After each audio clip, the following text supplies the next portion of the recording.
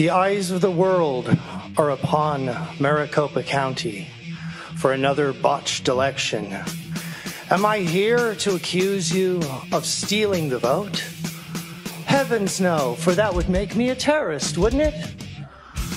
Let me ask you, if you took your life savings to a bank and the teller put them in a machine and the machine kicked out one out of four of your bills and the teller said, don't worry, we'll put them in box three over here and we'll let you know how many were in there later. We'll send them off to a separate location and someone will be sure to get back to you and tell you how much money you have.